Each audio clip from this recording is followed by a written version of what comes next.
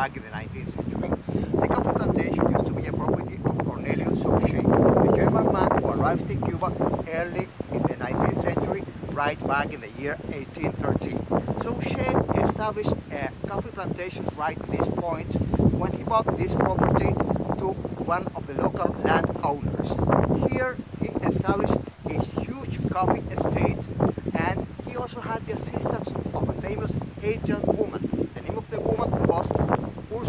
Lambert. And there is a whole legend around Cornelius and this Haitian woman and supposedly there was an affair between them but actually there are no concrete facts which may prove that whether this was actually true or not. Site, the remains of the, of the house Cornelio owned were declared a national monument back in the year 1981 and now the site is being currently preserved by Cuban archaeologists and historians. But the site is not only Cornelius' big mansions as you may see in your screens right now. The site is also composed by ruins of the house which once was a property of Ursula Lambert, Cornelius' assistant, right, uh, on the right of Corn the remains of Cornelius' mansion. This man was an ingenious person and he designed quite an interesting system for the supply of all the water that he needed. Remember that this was the largest coffee plantation in the west of the country and he needed large amounts of water to process all the coffee that he grew in the coffee state. Uh, there is a river not far from the property. He made a dam, and from this dam he channeled the, uh, the flow of water so that he could supply all the needs of water for the industrial processes that he had in the plantation. But the plantation was a self-sufficient establishment because here he produced the tiles that he needed. He also had the carpentry and there were different types of shops to cope with all the needs, uh, particularly of a coffee plantation. Uh, something else, there were 450 slaves. Uh, course, in slavery and in slave plantations, there are slave quarters. And the slave quarter occupies an area, one of the largest areas of a coffee plantation. Uh, inside in this coffee, this place where the slaves lived uh, was uh, an enclosed place where there were the huts where the slaves used to live. And according to uh, historic records, slavery was not as inhuman in this plantation as in other plantations of the country. Uh, in this place, uh, slaves had certain rights, they were paid certain amount of money, mm. which the slave invested in a small store that there was in this coffee plantation. Mm. There was some sort of uh, humanitarian slave, but remember, slavery is it's also slavery. slavery. Currently, there is a staff of Canadian researchers from St. Mary's University who are cooperating with the Division of Archaeology of the Office of the Historian in an interesting project which might eventually contribute to the improvement of the current uh, conditions of the preservation now in the site.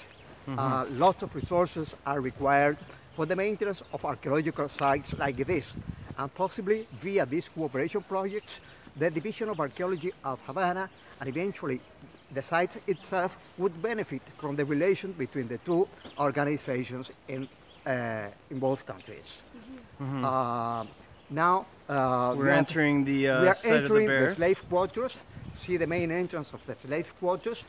There used to be railing and rails that enclosed the slaves at night where they used, used, were compelled to live and sleep right after 9 o'clock every, every night. Mm -hmm. uh, here you have some views of the Canadian students doing archaeological work and uh, where they uh, would find some of the artifacts that were formed that form part of the personal belongings of the slaves that once dwelt in this place.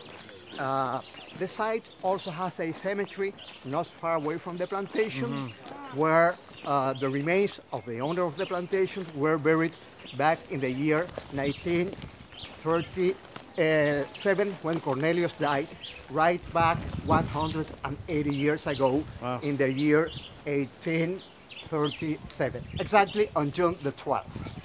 And there you have a view of the large water reservoirs that he used wow. to process all the coffee that he produced in the plantation. Uh, he had immense water reservoirs, which eventually stopped being used because of, of certain conditions uh, uh, enforced in the plantation at that time, and also because there supposedly was a quake and the reservoirs could not be used anymore. There were also dungeons. In one of these reservoirs, Cornelio had a couple of dungeons, one for the female slaves and one for the male slaves. This site was also used during the revolution. And uh, right after the triumph of the revolution, after 1959, of the plantation was not enforced anymore, but this place was used by Ernesto Che Guevara as the commanding uh, center for, uh, of the army on the time of the missile crisis uh, when uh, the- supposedly there were nuclear uh, missiles around by the area.